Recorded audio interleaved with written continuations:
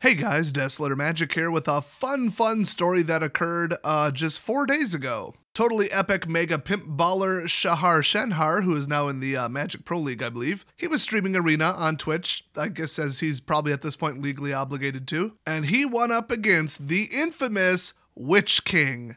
Oh, I'm familiar with that username. Witch King likes to time stall. He likes to spam the chat annoyingly and just be a dick. He really likes to play thin win condition Nexus Teferi garbage. And against Shahar, he was playing the same thing. Now, Shahar, by the way, was also playing complete and utter Teferi aids. But at least he had the Eldest Reborn in his deck. At least he had some semblance of a card that could maybe win the game. So Witch King ended up basically running out of anything he could win with. Like he had a couple win cons, like maybe a mill thing or like a I don't know Dawn of Hope. I'm not sure, but Shahar removed them all. So at a certain point, he was left with just Nexus of Fate in his uh, library, and that's it, four of them. Well, anytime they would go to the graveyard, they go right back to the library because that card is broken garbage. Whoever approved it should be not just fired from Wizards, but also fired out of a cannon out of Seattle. In fact, Wizards of the Coast should just outright sue that person for damage to their company over lost customers over that one card. Like, it's that bad right now.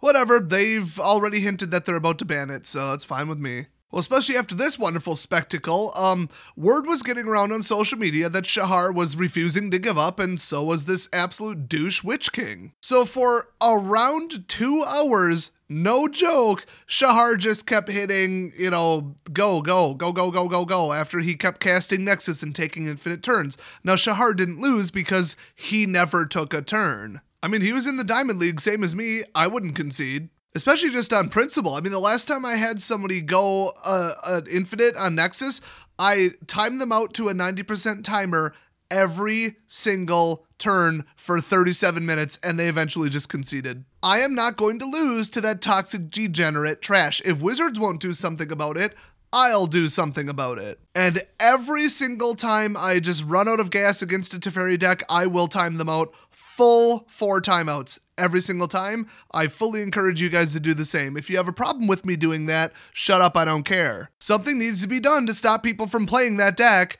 and I'm going to do it. So I believe it was actually about one hour and 47 minutes later, his opponent, Witch King, finally concedes. Finally. But wait, ahead of time, some of the, you know, higher ups at Wizards are like, oh, well, our person that we like are paying to stream and he's a huge pro is streaming. What's going on? Because people were like tweeting links to it. Like, look what this piece of human garbage is doing. Look how broken and unplayable Arena is. Look how terrible this card is. And soon, you know, a thousand, ten thousand, maybe a hundred thousand people on social media are getting the word of, hey, don't play arena, it's degenerate crap because stuff like this will go on, and a bunch of the players are complete dicks. Well, that wonderful PR got the attention of Chris Clay, who popped into the live stream, and um and well, since this is Chris Clay we're talking about, he just went into the back end and banned Witch King. So he actually said in the chat, um, interesting, like after the guy conceded, he says, I'm not 100% sure if it was the ban or if they actually just conceded. And people were asking, Oh, you banned him? And he says, Yeah, no, we banned him. And somebody in the chat asked them, So do you guys ban everyone that does this, or is this a special case? And then they reiterated, I mean, you guys have to have the ability for DA to see um, players that are doing this.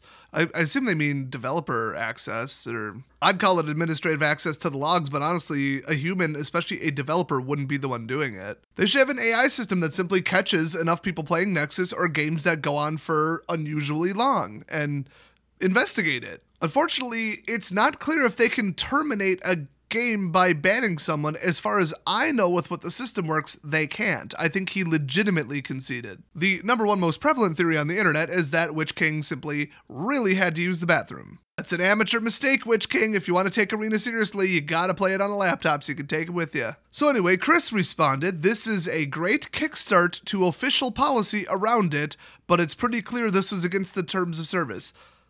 I don't know what that means. This is a great kickstart to official policy around doing this? Are you foreshadowing a future change? Are you finally going to ban the damn card? The funny thing is, I've said it before.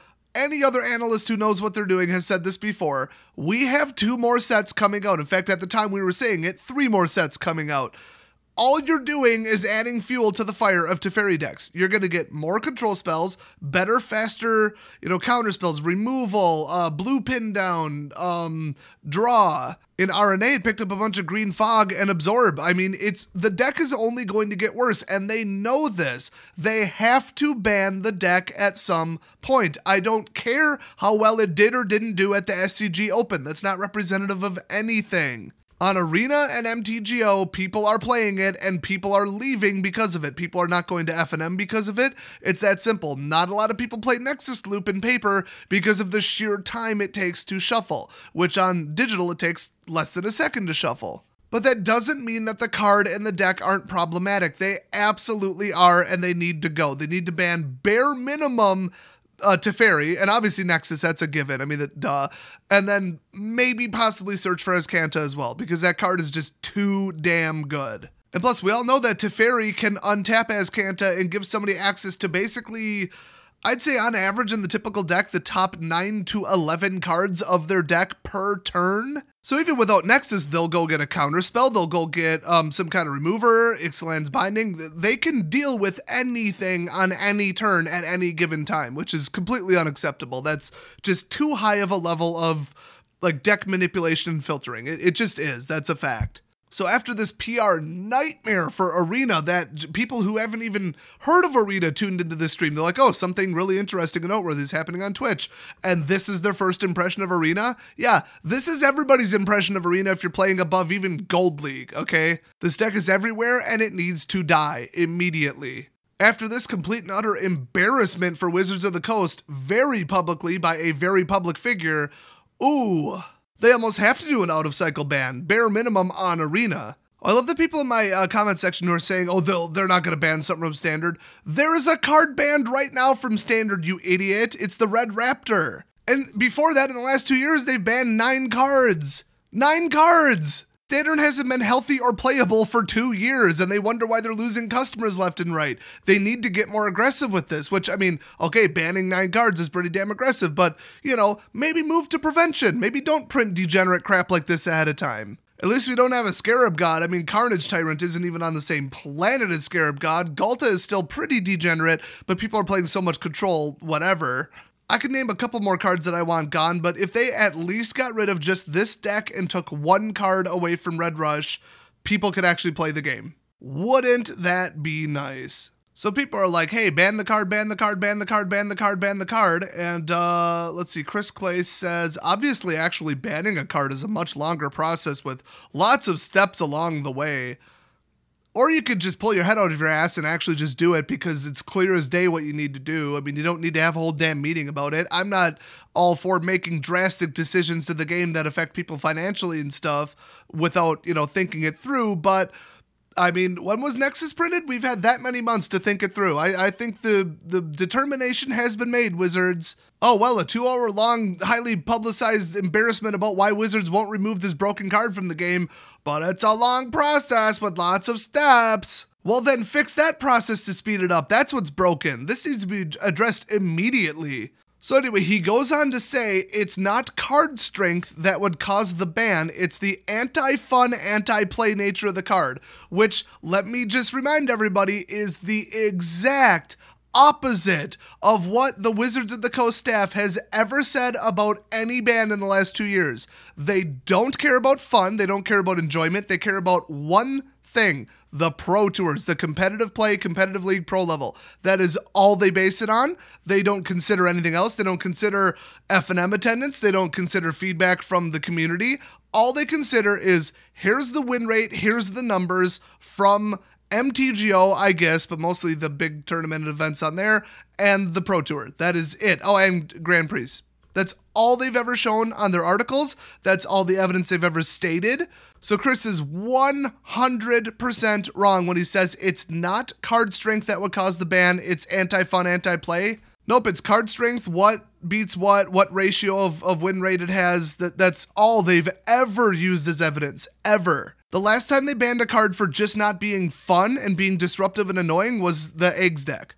And I mean, how long ago was that? Before that, it was what? Charizard and Goblin games are banned at some point for not being fun, and I can't actually think of any other examples. So sorry, Chris, but that's not at all how it works. That's just how we all wished it worked. So somebody asked if this guy got like a permanent ban or a one week ban. I would have permanently banned him. Um, Chris says uh, short term, two hours to be clear. So he got banned for approximately the same amount of time that he wasted on Shahar's stream. I would have bare minimum given him a week ban. Bare minimum. But you know what? Everybody knows the name Witch King now. I've said it a couple times and this video is gonna get some views, I guarantee it. So I suspect that every single time somebody plays against Witch King, he's gonna get timer trolled pretty damn hard. So his arena career is done. He might as well just delete his account right now. If you see this asshole in a game, just slow play him. Just slow play him every turn, every timer, every time. If Wizards is gonna dance around the issue and give him a little two hour slap on the wrist so he can go do something more productive, which honestly, he clearly conceded because he had to go somewhere or do something. So, in all likelihood, he had nothing happen to him. Now, the next comments by Chris are very odd. Chris says, even if a card is banned, you can still always use it in direct challenge. Really? You can use that red life gain blocking Raptor in direct challenge? It's basically a free for all? I did not know that. That actually is kind of nice because I mean you don't have to play the person again and you're the one who arranged the the game. So well then we had some idiot reply to him talking completely out their ass saying I don't see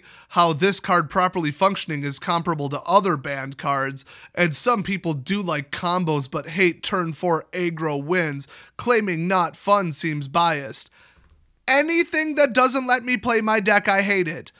Sincerely, every Magic player ever. If you go first with a hyperspeed Red Rush deck and beat me on turn four, you can take your deck and shove it square up your ass. That was not even worth my time to shuffle my deck, sit down, and flip a coin to see who goes first to let me play two cards and then I lose. That's bullshit. Turn 30, where a grand total of zero of my permanents that aren't lands stayed in play for more than one turn. Same thing. Both of them are the same deck. Blue white control draw out bullshit and red rush bullshit are the same deck. They don't let me play my deck that I spent time and money putting together. Hey, wait a minute. When they effectively banned decks in Modern, why did they do it? Oh, that's right. Because they're too fast. They're sooner than turn four. That is their own words. They stated it. That is their policy. Decks cannot consistently win faster than turn four, or they will ban them. Period. Or the deck is too powerful, too good, and too unbeatable. Well, that sounds awfully familiar, doesn't it? So get out the banhammer, you morons. So then Chris agrees with him, which is why nothing ever gets done at Wizards of the Coast. He says,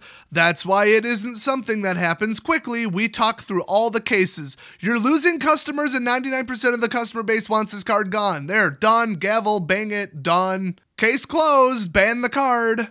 Then somebody says, Can you make it easier to report people for constantly roping, as they call it, in Arena? It sucks having to leave the client for it.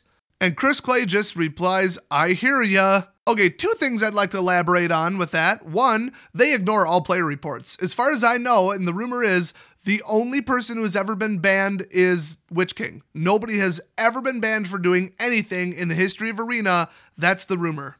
Speaking of rumors, there's a rumor that one of the customer support reps let uh, a little information leak out. They ignore reports for slow players who are purposely playing slow and and you know timering out and all that crap, time stalling in any form, and their company policy is to not ban anyone for doing it, even though it is the number one thing wrong with Arena is people slow playing on purpose. And the rumor is that that customer support rep got fired. Worth it. So they don't do anything with these reports. So not only do you have to go like what send an email or something with like your game log and it's like this whole big thing, once they read it they don't do anything about it. They need an in-game report system where somebody gets like you know 10 15 20 reports then the system flags it for actual human review and then they actually look at it yeah that's kind of expensive but you're also kind of making millions of dollars on arena so you know spend a little bit of money on somebody you know paid them 12 bucks an hour to review this crap and you know, Arena would be playable because the toxic players would constantly get banned? Wouldn't that be a concept? It's the same as when Modern Warfare 3 started getting insane levels of hacking on the uh, PC, where people were just flying around through the air with a Barrett sniper rifle, shooting through like walls and crap, getting you know 150 kills. With the half a billion to one billion dollars that they made on that game, they couldn't have a room full of 50 people just jump into a game, oh, look, they're cheating, ban them, jump into the next game. There were probably no more than one to 10,000 concurrent games at any given time. A room full of 50 people could have gotten rid of every cheater in the game in one day. Uh, the total setup, labor cost, technology, all that, it cost about 20 grand. That's it. But nope, they just, game wasn't designed to do that. No spectator mode, no quick admin mode. They just never designed it because they, I guess, didn't know people would cheat at an FPS game that's popular. Mm hmm. Well, I guess Arena didn't see this coming either. They were just like, yeah, there's going to be bad players, but what's the worst they could do? Oh, crap. So, Witch King, whoever you are, I hope you get hit by a bus. And Shahar, you are a freaking legend for putting up with that crap. He got a ton of subs and even more respect from the community for just not conceding to that bad behavior. I hope Witch King was late to work and got fired from his job. And hopefully, on the way out of work, he got struck by lightning. You pull that crap against me, we're gonna pull out Wireshark and see if the dedicated servers are as dedicated as we think they are. It'd be a real shame if they accidentally send some data peer to peer and I get your IP address. So anyway, Arena is still an unplayable shit show with this deck and Red Rush. Uh, it's pretty much 75% of the meta in the Gold, Platinum, and Diamond League. Oh wait, people are playing that 5 gate garbage too. Yeah, the funny thing is I don't consider that a huge threat because like three of my top decks all beat it. But it is horribly degenerate. Hey, I remember saying something about that during, well, the Guilds of Ravnica and the Ravnica Allegiance spoilers. It's almost like I know better than Wizards does. Imagine that. So anyway, what do you think of this absolute PR shitstorm? Uh, have you given up on Arena yet? Let me know down in the comment section. Thanks for watching, and I'll see you guys next video.